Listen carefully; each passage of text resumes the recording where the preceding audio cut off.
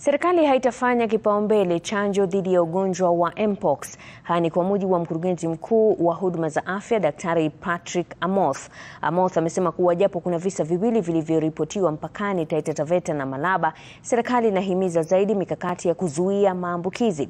Aidha, dozi milioni mbili za chanjo zinatarajiwa. Africa as a continent requires 10 million doses of uh, the Mpox vaccine. Discussions from the Africa CDC indicate that uh, Africa would be able to get about 2 million doses of the vaccine by the end of the year if you have discussions with the manufacturer, that is Bavarian Nordic in Copenhagen. However, you must remember that Mpox is endemic in Nigeria, unlike Kenya, which reported the first case of Mpox this year. The burden of disease is greater in Nigeria, and therefore the allocation of the vaccines will be based on the burden of disease. We are still in phase one, where we have less, in, in terms of our response plan, we have three phases. Phase one, less than 99 cases.